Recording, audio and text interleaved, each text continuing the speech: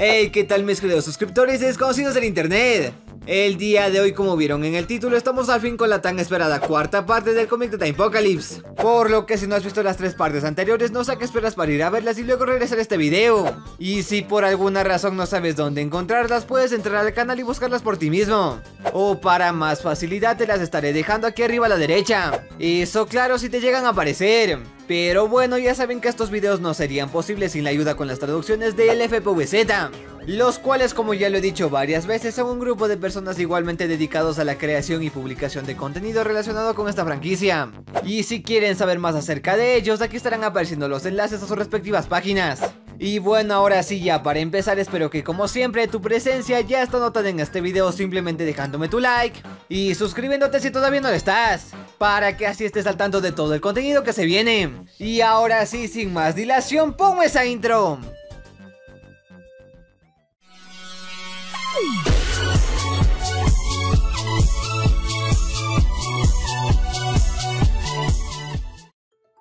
Y bueno, recapitulando los acontecimientos más importantes de la parte anterior, veíamos como Nathan y Patricia se quedaron atrapados en la época de los dinosaurios, para así poder buscar la pieza de la máquina del Dr. Zombos, cosa que no fue muy complicada ya que literalmente la pieza los encontró a ellos, y ya solo les quedaba esperar a que Dave vuelva en la máquina del tiempo, pero los zombies y dinosaurios no se los pondrían demasiado fácil, ya que estos los perseguirían para poder tomar la pieza y comer sus cerebros.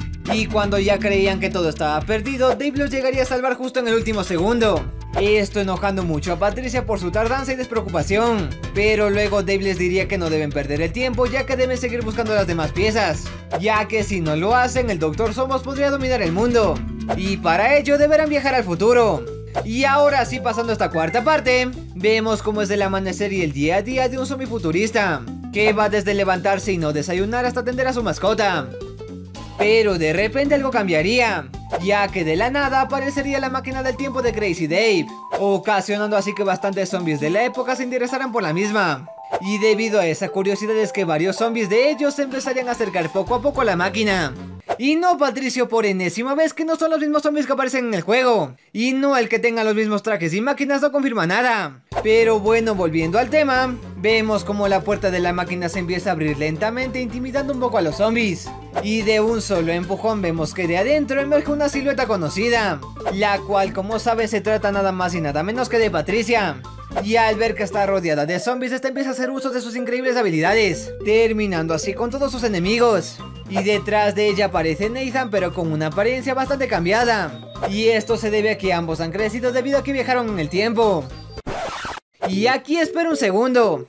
Si se supone que su edad cambió al ir hacia el futuro, ¿por qué cuando viajaron al pasado a estos no les pasó nada?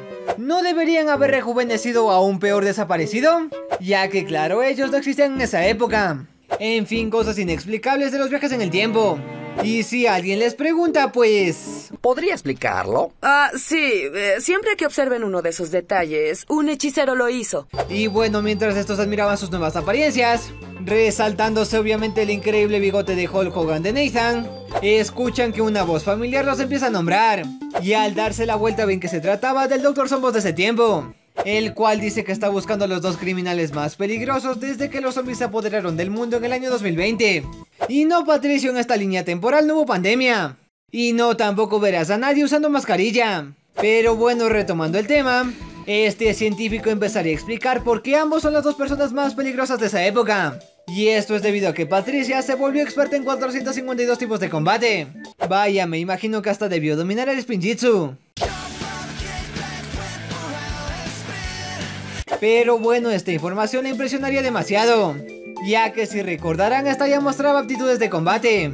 Y ahora pasando con Nathan se menciona que este se volvió el científico anti-zombies más experto del mundo, tal vez siguiendo los pasos de Dave, el cual en esta época no se sabe dónde está o qué le pasó. Pero esperemos que nada malo. Pero bueno, también se menciona que aparte de que Nathan se volviera un científico, este también ha estado tomando clases de baile, porque todavía le daba vergüenza lo que sucedió en la discoteca de los 70s. Oh no, aquí vienen los recuerdos.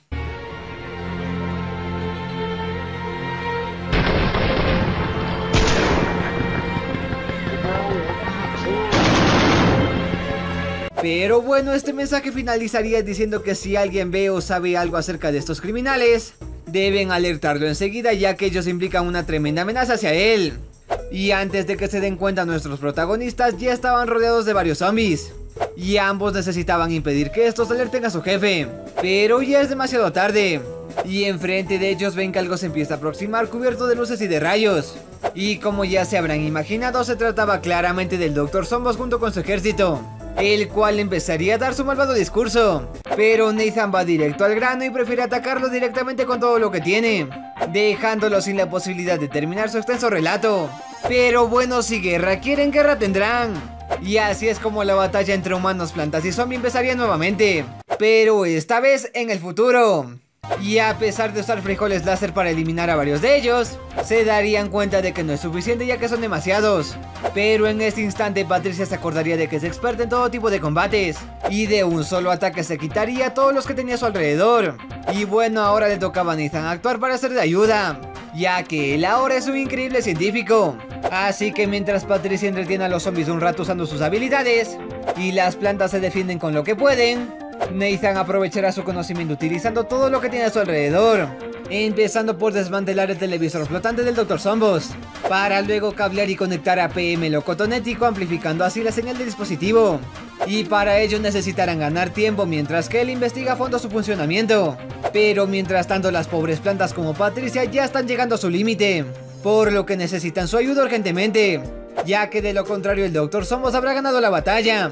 Pero afortunadamente la creación de Nathan ya estaría lista, desplegando así una onda magnética a gran escala que gracias a PM locotonético, esta inutilizaría todas las máquinas a su alrededor.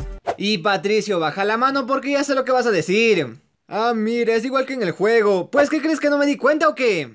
Y bueno, a causa de que todas las máquinas quedaron inservibles, una de ellas le caería en todo el pie al científico malvado. Y por si no lo vieron al inicio, la pieza que buscaban fue enterrada en el suelo por un perro zombie. Y sin perder ningún segundo, estos la tomarían y se retirarían estratégicamente del lugar por la línea temporal. Pero dejando al Dr. Zombos con ganas de una venganza. Y de una victoria. Y de cerebros. Pero sobre todo recordando que su pie está realmente dañado. ¿Será que los zombies del futuro alguna vez puedan volver a comer cerebros? ¿Cuáles serán todos los estilos de combate que dominaba Patricia? Y lo más importante, ¿será que el pie del Dr. Sombo sanará pronto? Pues descubre esto y más en el próximo capítulo, el cual como siempre será en un próximo video. Y bueno gente, muchas gracias por haber llegado al final de este cuarto capítulo. Y recuerden que si quieren ver la siguiente parte pronto deberán reventar ese botón de likes. Y bueno, con esto dicho, ahora pasamos a hacer la mención de los queridos miembros del canal, que son más exactamente Super Kevin Gamer y Adam Casas con los niveles fan de bronce. Y desde aquí les mando un gran abrazo y un saludo ya que ellos están apoyando al canal y a los demás videos con su gran aporte. Y si tú también quieres aparecer en los videos y obtener más beneficios, puedes probar a unirte a los miembros del canal. Y bueno, si se quedaron con ganas de más contenido, pueden darse una vuelta por el canal. Ya que como siempre les aseguro que encontrarán algo de su interés. Y ya para pasar a la sección final quiero dar gracias a todos por los 75 mil suscriptores. Ya que como sabrán haré un especial que se vendrá muy pronto. Así que estén muy atentos. Y bueno, ahora sí sin más rodeos, vamos con la sección de comentarios destacados del video anterior que dicen así. Sí me llegó la notificación de tu video y vengo a verlo.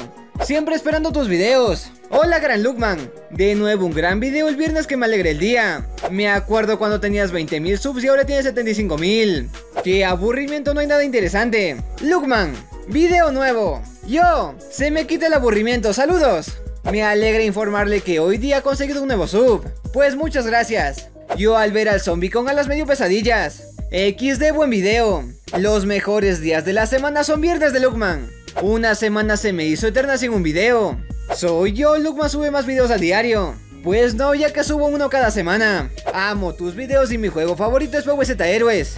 Minuto 7. ¿Alguien más se dio cuenta que la zombie futurista no tiene mandíbula? ¡Qué miedo si hubiera llegado! No, returbio.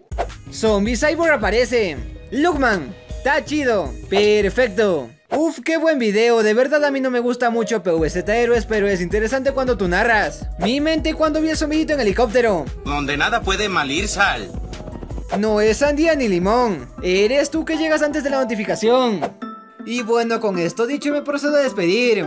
Así que un saludo, un abrazo, recuerden lavarse las manos. Y conmigo si todo sale bien nos veremos la próxima semana. Muchas gracias por todo y adiós.